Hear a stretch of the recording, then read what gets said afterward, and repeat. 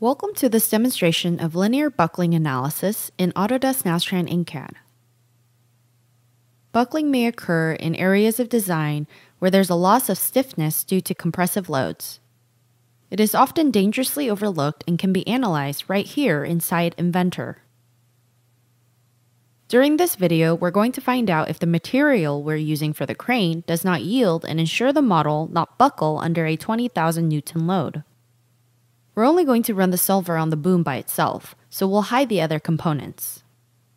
Now that we have just the parts of interest, we will generate a mesh on these parts, using 3D solid elements and using welded contacts to hold the different parts together. Now we'll apply some of the boundary conditions that simulate the real-world scenario. We're going to start with a fixed constraint on one end of the crane. Then we have two holes used for the actuator that is lifting the boom up and down. In order to simulate a bearing, we'll add rigid connectors from the nodes on the model to the center of the hole.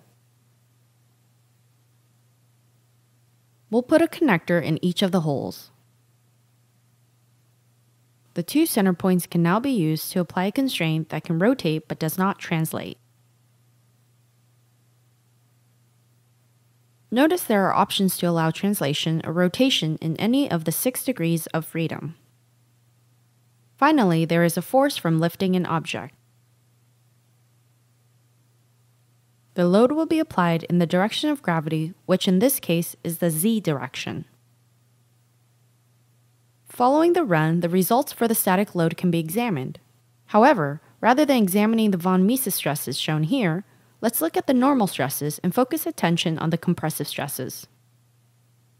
Under the steel tubing, we see we have almost 100 megapascals of compressive stress. The material won't yield here, but it might cause a buckling failure. To find out, we'll do a buckling analysis, which can be set up and run right here in Inventor.